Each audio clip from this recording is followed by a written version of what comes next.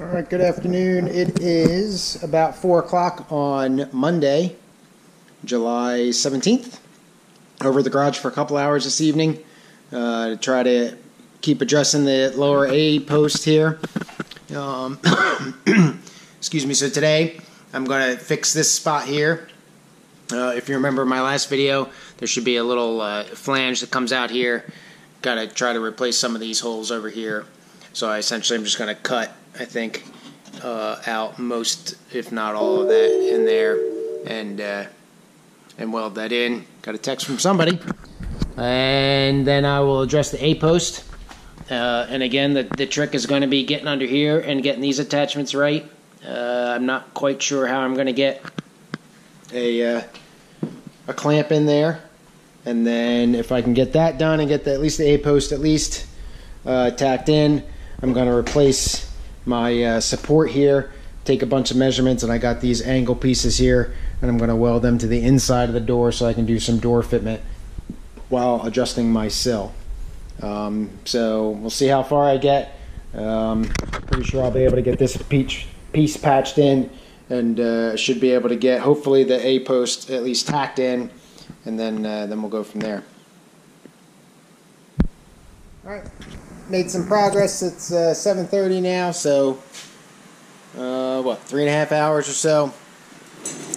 I'll show you here.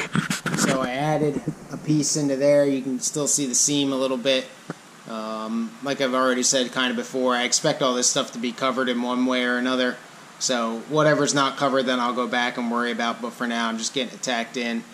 Um, this one here is a little even bad for my taste, but um, that's that lip that I was telling about. So I essentially made a a um, uh, almost like a ball cap brim. So this this uh, lip here is welded to this cross piece, and then I just cut that straight across and kind of faired that in. Um, it lines up, but it's uh, pretty ugly. Um, no other repairs under here, just kind of kept that prepped. And then for the bottom A post, I've hit it with uh, weldable primer already. Drilled the holes that I had forgotten um, to get the uh, the supports that are internal to the B pillar, get them on there. And I welded that piece in here for a new lip, a new front on that. That's probably the best weld that I've done. Excuse me. Um, well, I don't know, to date, uh, pretty much uh, pretty happy with the seams and how they worked out. So I'm just waiting for this to this primer to dry. Uh, and then I'll fit everything up and we'll go from there. Hopefully we can uh, we can get it tacked in tonight. I, am not quite sure. I've only got about uh, about 30 more minutes or so that I'm going to work tonight. Got a uh, big deep sea fishing trip tomorrow that I'm taking the boys on. So I'll probably uh, I expect that we'll probably do okay tomorrow. So I'm sure I'll post some pictures of that.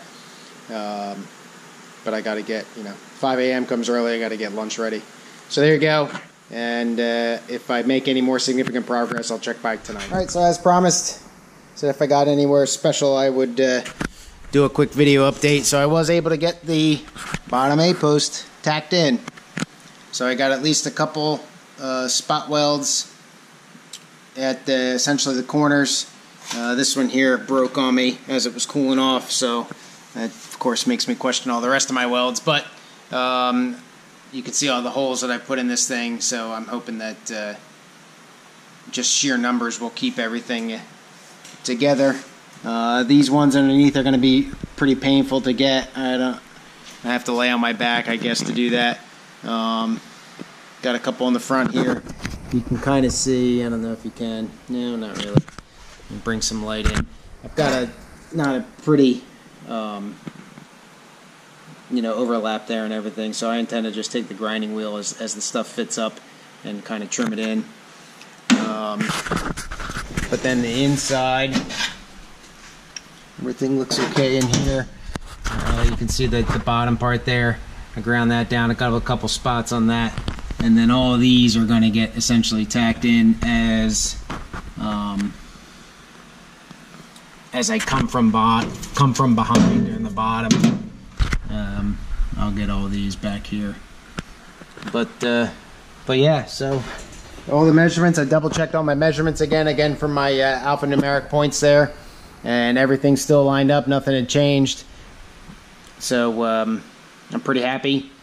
Didn't get everything done that I wanted to get done, of course, because I didn't get this uh, this this support um, column redone. But uh, but it's 8:30, and uh, I got to get ready to go fishing tomorrow. So have a good night. Cheers.